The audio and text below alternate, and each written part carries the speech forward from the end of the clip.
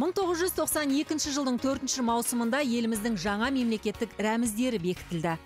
Ал 2007 жылдың дәл осы күнінде ел конституциясына қазақстан республикасының мемлекеттік туын елтаңбасын және олардың бейнелерін мемлекеттік гимннің мәтінін орналастырудың тәртібін айқындайтын заң күшіне енді. Техникалық реттеу және метрология комитеті сол заңнаманың дұрыс орындалуын қадағалайтын мемлекеттік мекеме. Аталған ұжымның алматы қаласы бойынша департаменті осынау жауапты жұмысты атқарып келеді. Жалпылама түсінікті болу үшін мен айта кетейін. Ең бірінші біздің үкіметтің ұлттық қаулысына сәйкес ең бірінші кәсіпорын тарапынан немесе басқа да департамент тарапынан арнайы бірінші басшының қолымен бізде бұйрық шығарылады.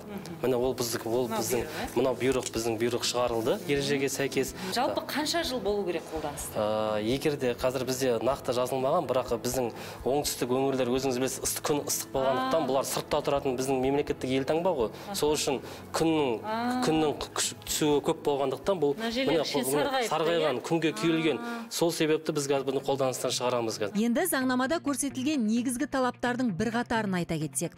Биіктігі 20 метрден аспайтын мемлекеттік мекемеде орналасқан тудың ұзындығы 2 метр биіктігі 1 метр болуы тиіс және ғимараттың төбесіне ілінеді. Ал елтаңба қашанда ортада тұру қажет.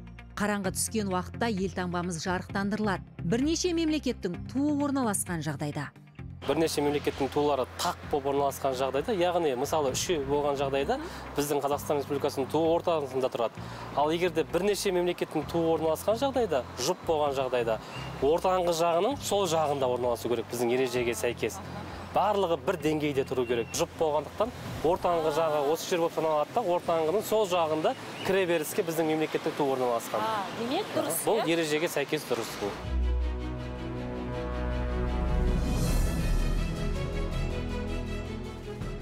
Қазақстан республикасының мемлекеттік нышандарына қойылатын ұлттық стандарттардың бұзылғаны үшін жеке және лауазымды тұлғалар әкімшілік жауапкершілікке тартылып айыппұл төлейді. Ең бастысы ел рәміздеріне деген құрмет әр адамның жүрегінде болса игі.